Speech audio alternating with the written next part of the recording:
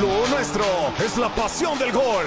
Los cañoneros deben aprovechar esta oportunidad ante la visita de la máquina que ha mejorado y viene por los puntos. Mazatlán contra Cruz Azul. Después, el cholaje de Miguel Herrera. Necesita un gran encuentro al enfrentar el poder de los diablos de Nacho Ambriz. Cholos contra Toluca.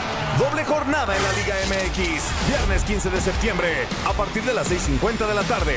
La Liga MX en un solo lugar, en VIX.